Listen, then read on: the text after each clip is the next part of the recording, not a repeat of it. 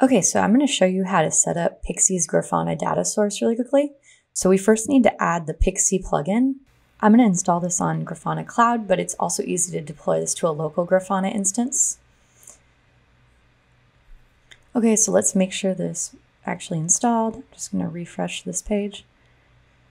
Okay, great. So now we can add the data source. And you're going to add new data source, search for Pixie, and then we need to configure Pixie. So I already have Pixie um, installed on my cluster, and I'll link to the directions for that if you don't have that. So here you can see the OLM, PL, and PLC and PX operator namespaces. That's Pixie. So we want to get the API key that's needed by this uh, plugin. So we'll do PX API key create, and this will create an API key for us that we need to grab.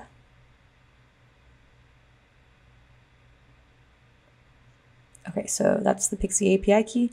To get the cluster ID, we're going to do px get viziers. Um, I'm going to uh, do a slightly longer method of doing this because I have a lot of viziers set up on my account. So I'm just going to grep for my viziers and then the ones that are healthy. But all you should need to run is just px get viziers.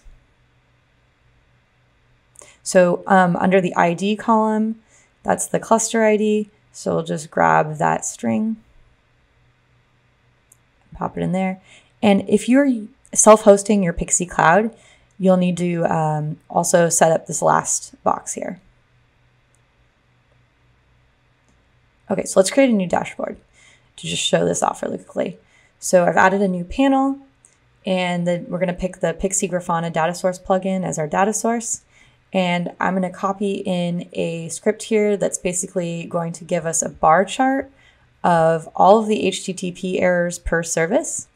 So I've selected the bar chart visualization, and this is a little messy, so let's change the orientation to be horizontal.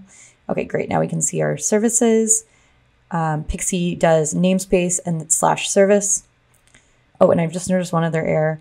Um, we want to use the Grafana plugin um, time from macro so that we can change the time picker and have that give us the correct time window. Okay, let's try this out, make sure this works. Yes, okay, we're getting data dependent on the time picker. Let's make the errors red and the total requests blue.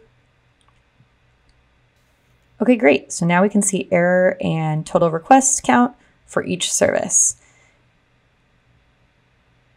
Let's rename this panel to HTTP errors per service. And there you have it. For more examples of using Pixie's Grafana data source plugin, be sure to check out our other videos.